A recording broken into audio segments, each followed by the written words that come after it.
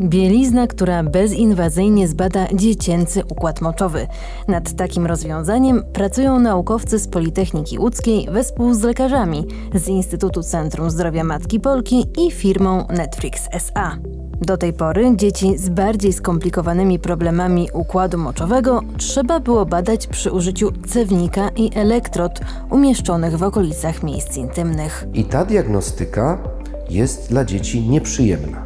Nie jest może ona bolesna, natomiast dla osób, które nie rozumieją, po co mają włożony cewnik i po co mają przyklejone elektrody, powoduje stres, niepokój, trudności we współpracy z lekarzem i w wykonaniu tego badania i po pierwsze stresuje dziecko i rodzinę, a po drugie, jeżeli dziecko nie współpracuje dobrze, to jakość tej diagnostyki wydaje się być nieco gorsza. Specjalne majtki zaprojektowane przez zespół projektu Urotom to mniej stresu dla najmłodszych pacjentów. Czujniki wbudowane w bieliznę przez maksymalnie 5 godzin będą monitorować pracę dróg moczowych dziecka i wysyłać do odbiornika odpowiednie sygnały.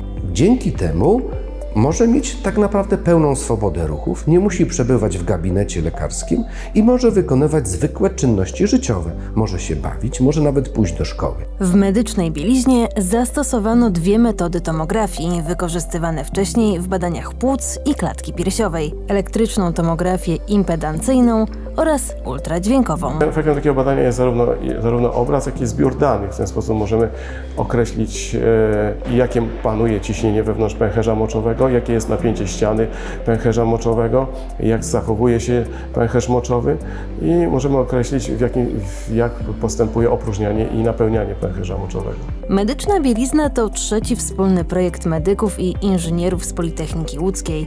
Naukowcy zajęli się projektowaniem algorytmów, które ułatwią monitorowanie dróg moczowych pacjentów i będą gromadzić informacje o odstępstwach od normy. W sytuacji, gdy coś powiedzmy nie jest tak, to pokaz komputer albo system komputerowy pokazuje powiedzmy pewne odchylenia, że w tych, w tych miejscach coś się nie zgadza i wtedy lekarz może przejrzeć i powiedzmy powiedzieć, że faktycznie e, tutaj mamy do czynienia z dzieckiem, e, które ma problemy z jakiejś wady, on jestem lekarzem, wady dróg, dróg moczowych. Na potrzeby projektu powstał też model układu moczowego, który sprawdzi, czy zaprojektowana bielizna skutecznie wykonuje pomiary. Specjalny fantom wykonano z materiału, który ma właściwości fizyczne i chemiczne podobne do ludzkiego ciała. Tutaj to jest model, który no powiedzmy jest modelem statycznym, tak? Natomiast do tego modelu teraz budujemy modele uzupełnione elektroniką, która modeluje ten proces napełniania wypróżnienia pęcherza.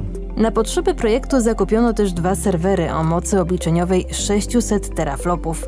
Te potężne prędkości służą naukowcom do obliczeń związanych ze sztuczną inteligencją i przetwarzaniem danych w tomografii medycznej.